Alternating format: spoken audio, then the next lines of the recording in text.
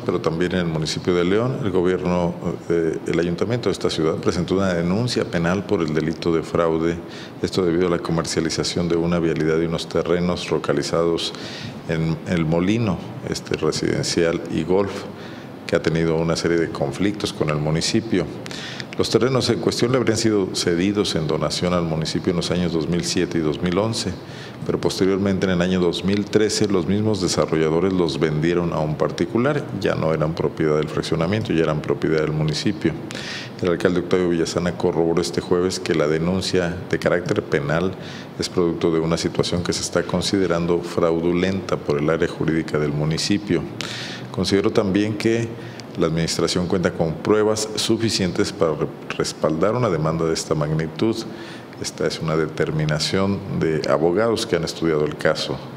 Más que subir de tono los problemas que se presentaron entre el fraccionamiento El Molino y el municipio, cada quien debe reconocer su parte y sentarse a dialogar, dijo Villasana. Bueno, esto fue una decisión de nuestro departamento jurídico.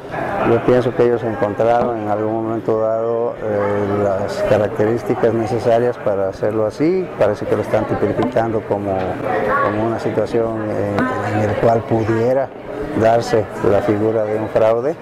Y, y bueno, en ese sentido fue que el departamento jurídico decidió hacerlo.